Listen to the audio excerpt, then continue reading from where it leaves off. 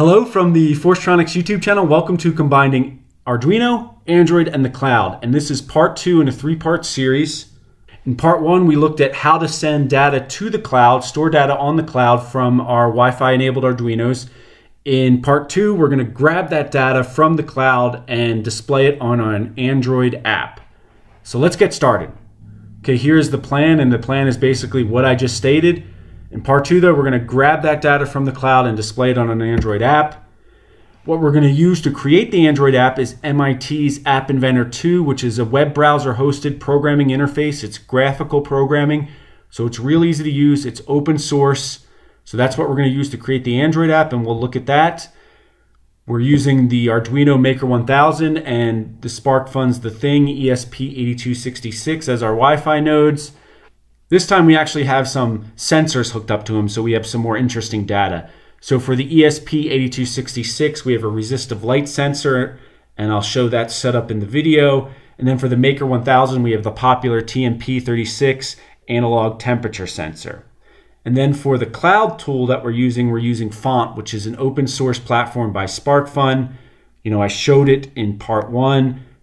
We looked at how to put data on it. Now we're going to look at how to take data from it. So let's start back at the data on the cloud that we'll be grabbing. So this is just meant to be a reminder from part one. We were sending ADC data from our two nodes.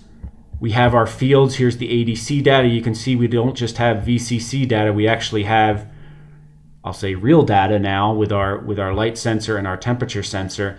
And then our other field is Wi-Fi node so we can identify them. So the I think Wi-Fi node number two is the Maker 1000, I believe, and Wi-Fi one is ESP 8266. So this is this is where we're going to be accessing our data. This is in part one. This is where the Arduinos were sending it. This is where we're going to be grabbing it with the Android app. Let's look at how you grab the data from from the the cloud.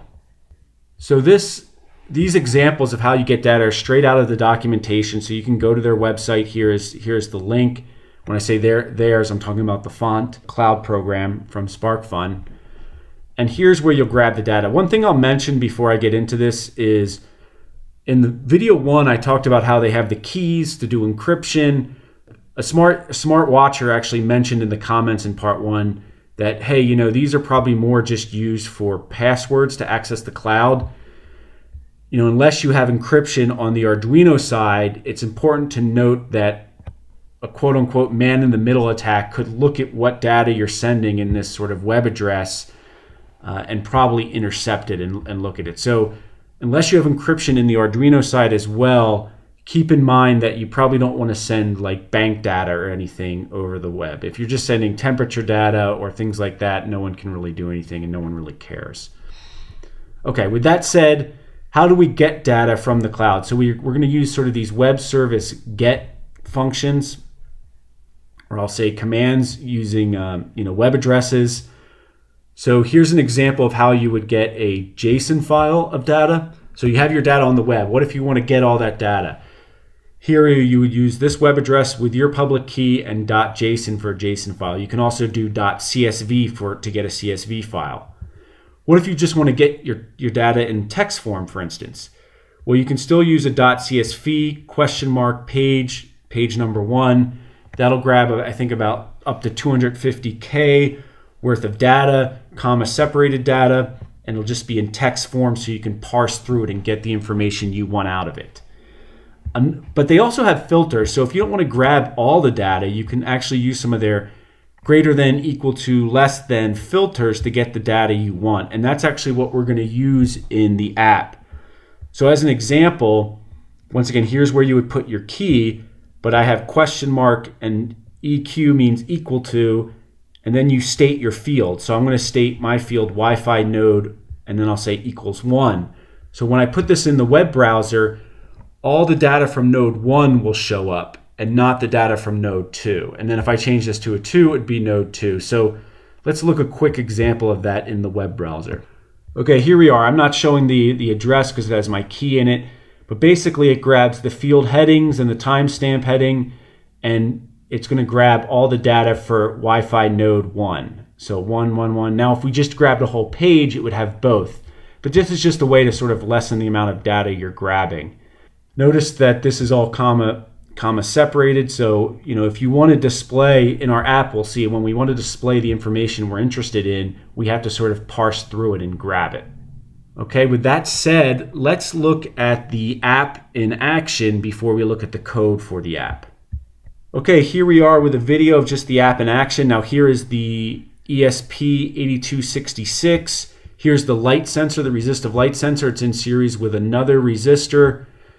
That resistor is connected to VCC. The other end of the light sensor is connected to ground. And then the ADC pin, which the ADC on the uh, ESP8266 only goes up to 1 volt.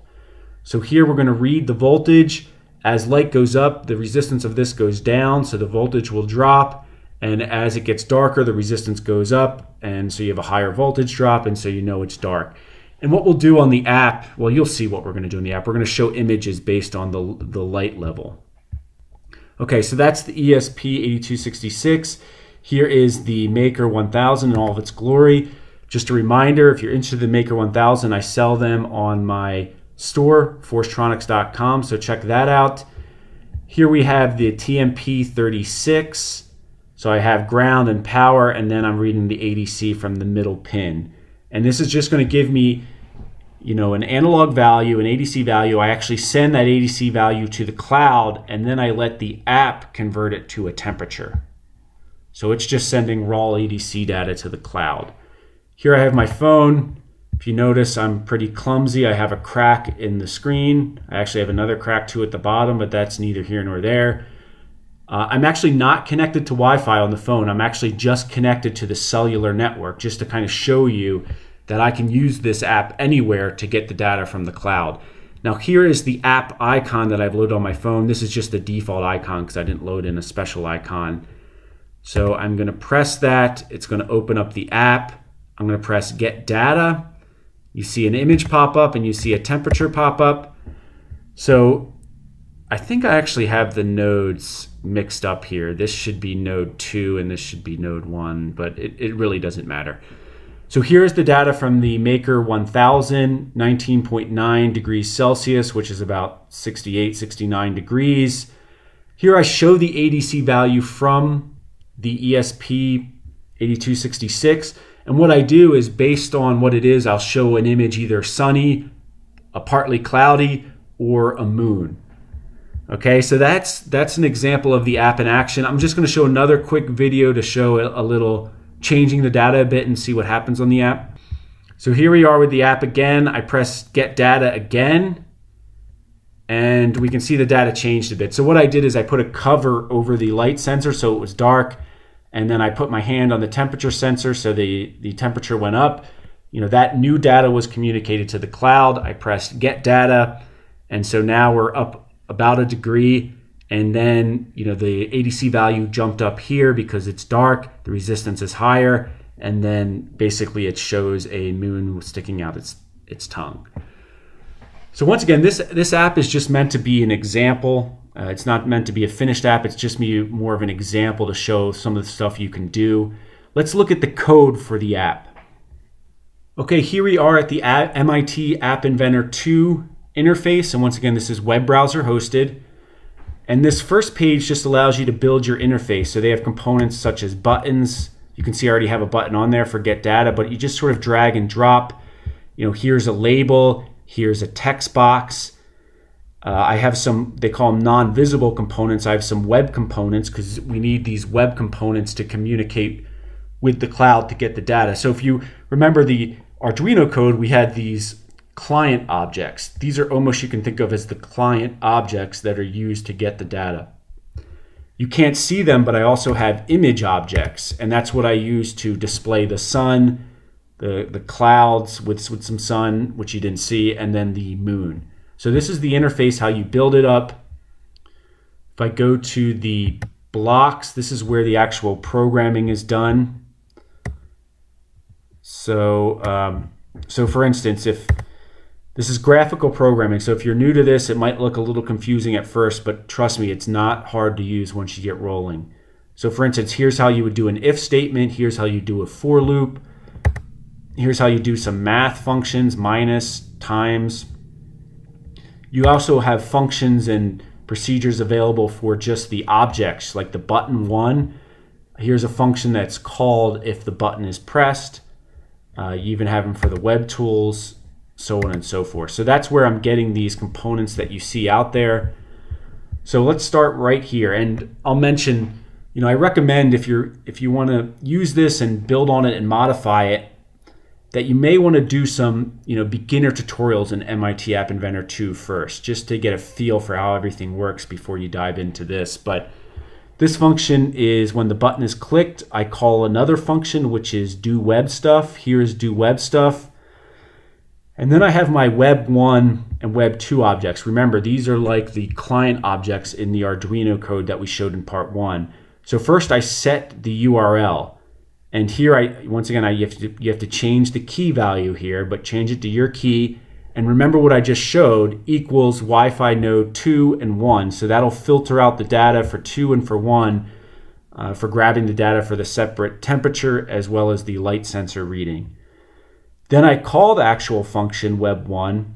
This triggers an event, and these are the event handlers. So when I call web1, and this is where it gets a it starts to get a little confusing if you're not if you're new to this but i call web 1 these boxes response content is actual what what is actually calling the text so if you remember in the web browser you see all that text here's where it's where it can be called from and then what happens here is I need to parse out to get the ADC reading. So what I do is I go out 28 characters because that's how many I counted out. I grab the first one and I don't know how long the ADC number is. It could be 5, it could be 50, it could be 500. So what I do is I have this while loop and I'm checking it each character I grab if it's a number. And if it is a number, I start to build it into an ADC value using times by 10 until finally I don't get a number. Then I jump out of the loop. I know that's my ADC value. And then for here, I turn that ADC value into a voltage and then I turn it into a temperature using the you know the the algorithm that they give you in the T, TMP36 data sheet. And then at the very last step, I turn it, I add, you know, degrees Celsius and I display it on the text box. And that's what you saw in the, uh, the app example. Now I will mention if this looks a little too confusing at first, I have this, these disabled blocks. So this is a this is web one is the same thing as this other block right here. But all I do here is I have the text box and I get the response code. So what I'm doing here is I say, just put all the text from the response in text box one. So if you want to, you know, just kind of see things happen a little simpler, you would just click on this and disable this block. And then this block is currently disabled. You would enable this block. You can't have them both enabled at the same time. And I did the same thing for Web 2, just if you want to make things a little simpler to get started. Then in Web 2, I do the same thing. I have to parse through the data uh, to get the ADC value. And then the second part's a little different, though. I have a if-else statement where I'm just checking the value of the ADC, and based on it, I'm saying, okay, it's it's visible light, so I display the sun.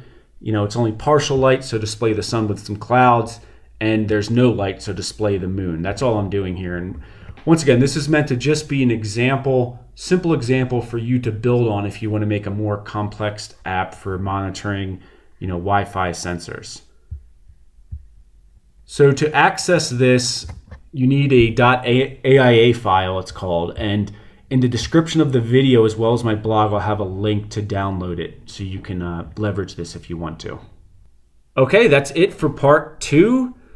If you have anything to add or any comments, uh, corrections, whatever, use the comment section in the video. We'll see you back here for part three, where we use the Android app to actually send data to control the Arduinos. So we, right now we just have the Arduinos collecting data and the Android app displaying it. Now we'll, we'll send data to the Arduinos to, to use to control them. So now we're getting sort of a two-way information flow. And whether you just want a sensor network or if you want home automation or some combination, you can actually then do sort of this back and forth. And that's what we'll look for in part three. Once again, if you need a Maker 1000, check out my store, forcetronics.com. And thank you for watching.